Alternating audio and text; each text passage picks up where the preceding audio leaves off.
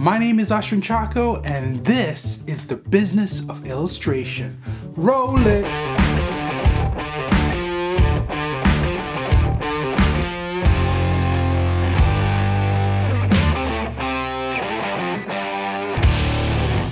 Welcome back to the business of illustration. Today we're tackling the oh also controversial topic of agents. This is a question I constantly get asked. How do you get an agent? I think every illustrator asks this in their career at least once. And so today we're going to tackle that topic. And who better to tackle that topic with than an agent to give us the inside scoop on the agent world. So today I'd like to welcome James Hughes, aka the Illustrator's Guide. So, hey, James, welcome to the business of illustration. So glad you uh, took the time to join me for this conversation. Yeah, my pleasure. Uh, I really like what you're doing online. Thank you. Just uh, for our audience that might not know you, do you mind just doing your introduction? Sure. Yeah, I'm. Uh, I'm James. I'm an illustration agent at Folio Art, and more recently, I've been sharing videos online uh, about the business of illustration through my channel, The Illustrator's Guide.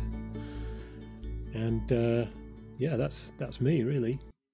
You know, not everybody wants an agent, not everybody needs one, and not everybody wants to pay for one.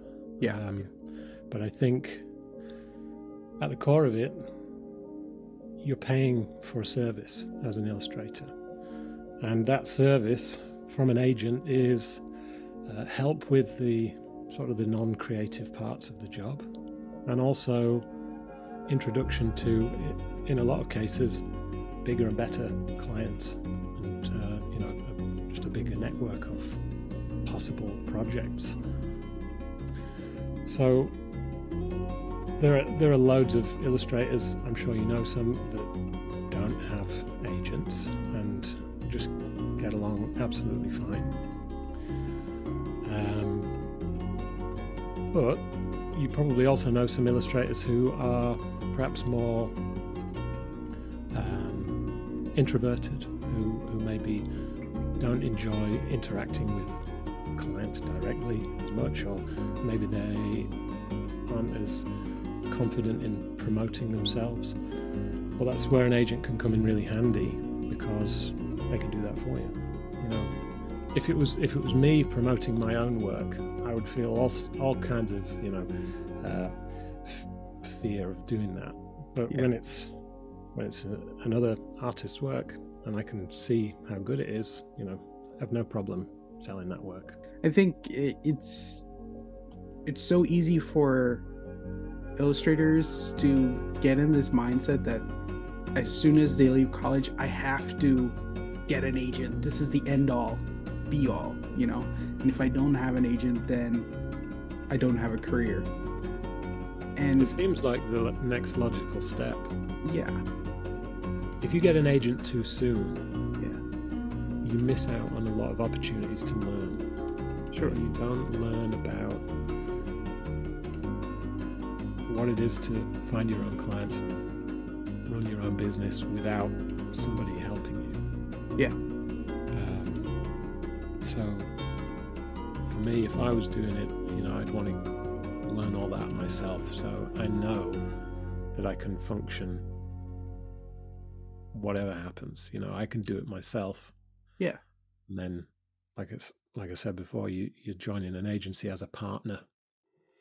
I think it's a, a very rare case when a new graduate can can get an agent straight out of university. Mm. it, does, it does happen, but usually during the summer when people are graduating and finishing their, their courses, we'll get an influx of applications from from new grads. And truth is, that's a risk. That would be a, a risk for us to take on a new graduate because they're untested in the professional world.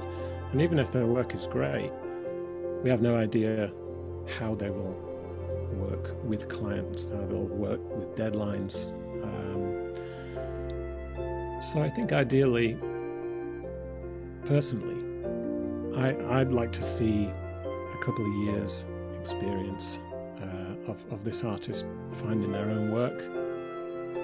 um, working with, you know, they don't have to be, you don't have to have an amazing client list to apply to an agency, but I'd want to see that that person can function professionally by themselves because then you're taking on uh, a partner, somebody that has something something good to offer. You're not taking on somebody that is going to need their hand holding throughout the whole process.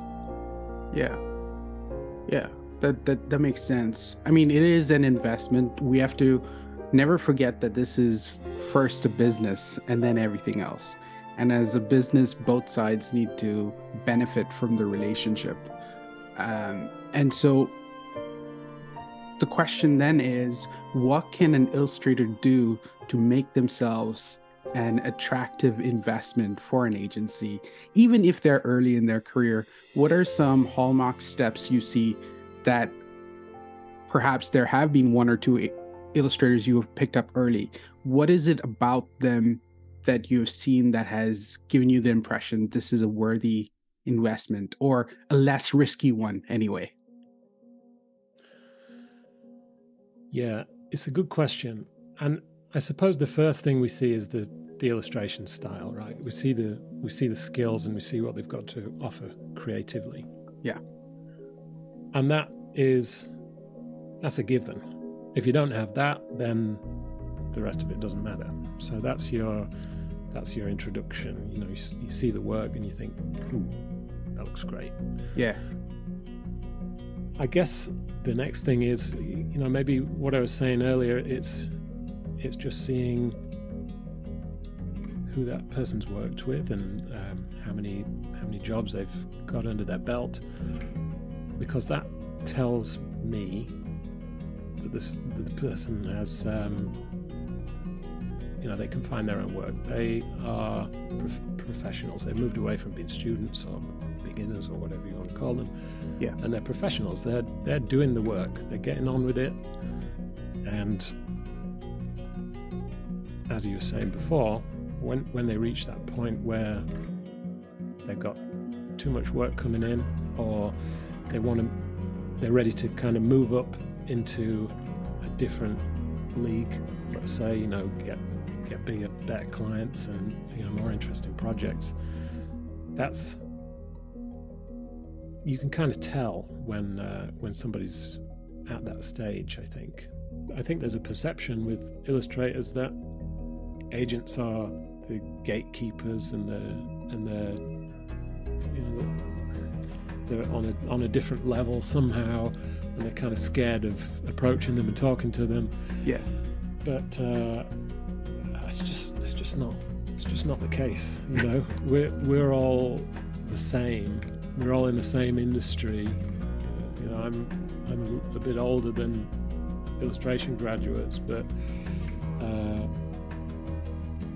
I'm, I'm basically the same person. You know, and I like illustration. That's an yeah. important important thing to mention. I think it can feel like that though sometimes because they feel hard to approach that and often it's branded that way as well more for the benefit of the client not necessarily for the illustrator uh, that it feels like you're sort of approaching this faceless corporation that you're hoping will then put you at a different place in your career and that fear also then probably doesn't do much in in your favor as to how you converse with the agent and all that.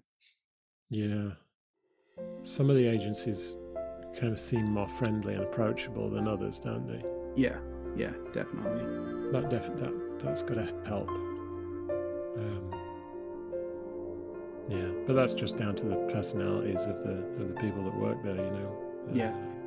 Our, our team, well, I won't speak for everyone, but I'm quite introverted, you know, so sure. I don't get I don't get out there much, and I'm not like heading down the illustration meetups and things like that. So I guess it does put a bit of a, a barrier between between us. Yeah, that's cool. Um, uh, I'm curious about agents and how they get you work. What what is the process? What is the behind the curtains process there? Yeah, well, I, I mentioned earlier that agencies like to work with artists who have a unique style. Yeah. So, for for the for the artists who do and have got their own kind of brand, I suppose, often clients will get in touch specifically to work with those people. You know, for the for the really uh, established ones, sometimes clients will be writing briefs specifically for those artists. Yeah. Um, other than that, a client might get in touch with a brief and say, "Who do you have that could work on on this?" And we can send back some recommendations. And uh, I guess the other, I think there's only really only three ways that that we do it. And the third way being we approach clients, go, go to meetings, pitch work. Um, I guess that also includes book fairs as well. I, have never been to a book fair. Um, too many people for my liking, but my but my my colleagues go and um, uh, pitch books and uh, that kind of thing. Um, yeah, so yeah, I, I guess for an established agency like Folio, yeah, we're in a lucky position that clients come to us. We've got a great selection of artists. For a newer agency, they'll probably have to do a lot more going out, f- finding the clients, and marketing. Yeah, yeah, exactly. Uh, I'm curious within that. Um, does having an agent necessarily guarantee that an illustrator is going to get work for the agent? How much off their own promotion should an illustrator be investing, even if they are signed up with an agency? No, it definitely doesn't guarantee it. Yeah. Um, and it can be quite difficult sometimes as an agent because when when you when you work with an artist who's not had a job in a while, you, you know you can start to feel really guilty about that, and, and you can do your best um, but th- it works better when you work as a team because you both have the same goal. So if the artist is doing their own marketing and, and uh, outreach, and the agency is doing it too, that's operating at 100% efficiency if you want to think about it like that. Now, if, if the agent is the only uh, party that's that's that's doing that, then you're missing you're missing something. You know, it's not operating as well as it could be. And and how much do you think does social media play a role within this um, promotion, uh, and even to being picked up by an agency?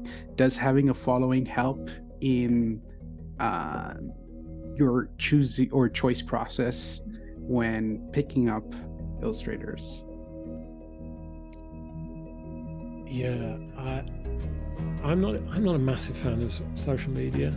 Yeah. I try and look at it as little as possible. Sure. With varying, uh, you know, varying levels of success. Um, but if I'm being really honest with myself, if I look at an artist's work, if I see their website, I will look at their Instagram. Yeah. Do I pay attention to the following? I think, in a very general way, if they have a high following, let's say mid four figures, I'd yeah. say, okay, they're they've been consistent. They've, they they put out good work. People like what they're doing. Um, if it's in the hundreds, you know, maybe you think, well, maybe this person hasn't quite found their stride yet. I mean, this is a te- terrible way to measure um, someone's creative work. I know that. Yeah. Um, but you can't help reading into it, I guess. Yeah. But then again, you know, the difference between 5,000 uh, 5, followers and 25,000 followers, I don't know that that has as much of a, an impact on me, really.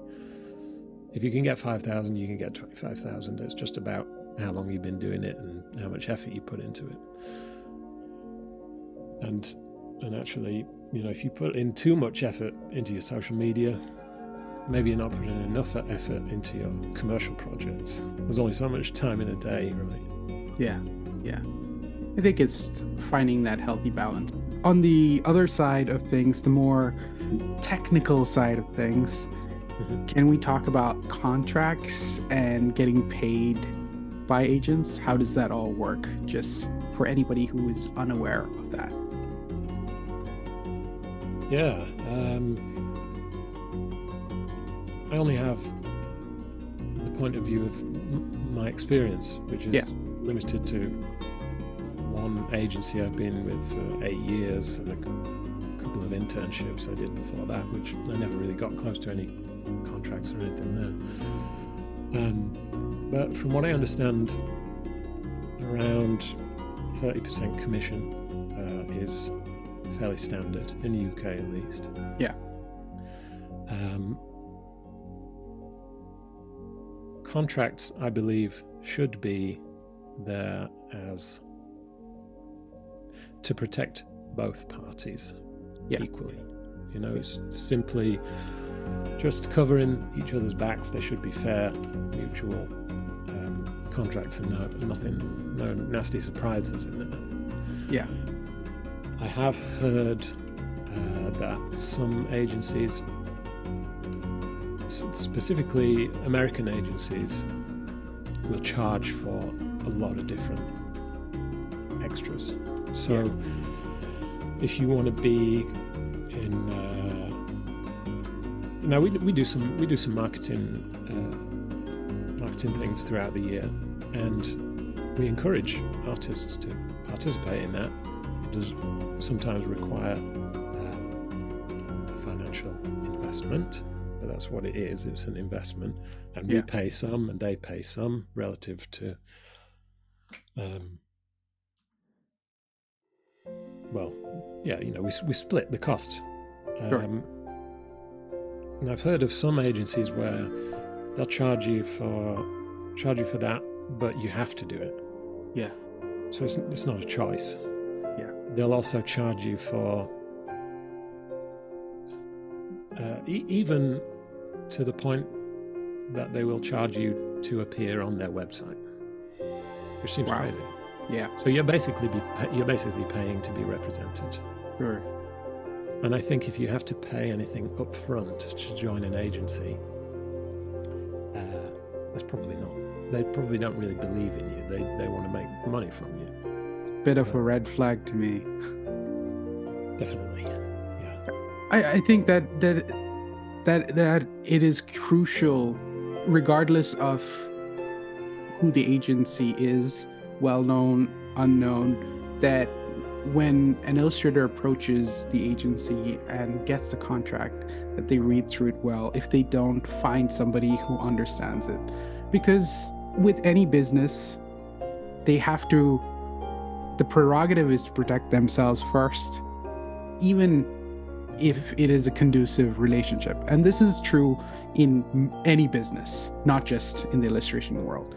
And so I think it's always important to look out for those little clauses that might not intentionally mean to box you, the illustrator, in, but does. And so it's important to get those taken out or at least looked over and discussed to see um, why they're there and what can be done to ensure that you have the most freedom with your work, with your copyright, with licensing, and everything else that happens. Yeah. Even if that relationship were to end, how that contract plays out if things close down. Because there are some clauses within contracts when you leave an agency about getting paid even after you've left. And so reading those is also super important. Agents. Part of an agent's job is to negotiate. Yeah. So everything's negotiable i think. Yeah know, yeah. uh, to to an extent. Yeah. You know if you read through the contract and there's some things that you think I'm not so sure about that. You can just have a conversation about it. it doesn't have to be certainly doesn't have to be a confrontation. Sure. Yeah. Everything everything should be open to discussion. Yeah. Now there will be some uh, hard lines on on either side where Sure. you think "Mm, we can't really bend on that, but maybe we could bend on this. You know. It's, Yeah. I think a, a, any good agent will would respect you for bringing it up. And some people approach those conversations in, a way that is all or nothing, win Yeah. or win lose. Sure. When really, that's rarely the case. You know, it's, uh, Yeah. there's usually a win-win in there somewhere. And if there isn't, no, no need to, uh, no need to fall out about it, right? Yeah. Or or they're just not the right agency for you. Yeah. And there's probably somebody else who is willing to make those compromises Yeah, and and will in the the long run be a more successful relationship versus a contentious one which then continues throughout you know uh the whole time you're you're in that contract yeah. That's a very good point about um, not being the right agency. Not every artist is right for every agency, and not every agency is right for every artist. There are so many, so many variables. You know, it's the work, the style of the artist's work, the net, the particular network of clients that the, that the agency has, even the personalities of the of the uh, two parties. Uh, And I've been in a situation before where I've worked with really. There's one in particular I think of quite often, um, who was such a skilled illustrator, and he joined us on a kind of a trial period for I can't remember how long, maybe six months, maybe a bit longer. And we just couldn't get, just couldn't get like a regular flow of work, and it was a real, it was a real shame. And we kind of parted ways on good terms. Um, and he ended up with another agency, and from what I can tell, he's just thriving. Yeah. Hmm. So there's really no harm in, uh, you know, I, I'm not suggesting chopping and changing agencies every couple of years is a good idea because you don't get time to build up relationships. But Yeah. throughout the course of a career, you know, you might work with lots of different agents. And you, you know, it might take you a while before you find the one where things really click. Yeah. Yeah. And I think that's a, a good place to close our conversation on uh, agencies. Uh, if you guys have found this helpful, I want you guys to know that James's new book is coming out, The Illustrator's Guide. Um, yeah, that's a copy right there. I'm looking forward to getting my copy. Uh, from what I've read so far, it is really detailed and very great for anybody looking for practical steps in the illustration world. So do check it out. Uh, thank you all for listening. As always, be true, be you, stay fruitful.